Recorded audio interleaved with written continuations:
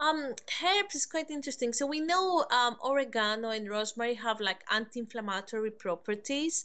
So inflammation is uh, related to uh, uh, infertility.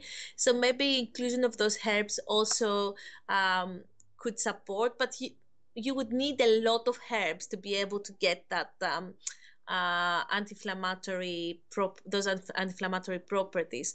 However, uh, adding herbs to your food is very beneficial because especially it means that often you have you avoid other things like uh, fat or the addition of extra salt because you're adding extra flavor that makes it an important part of the diet as well because you're making it uh, tastier without the addition of uh, things that may be more harmful to the health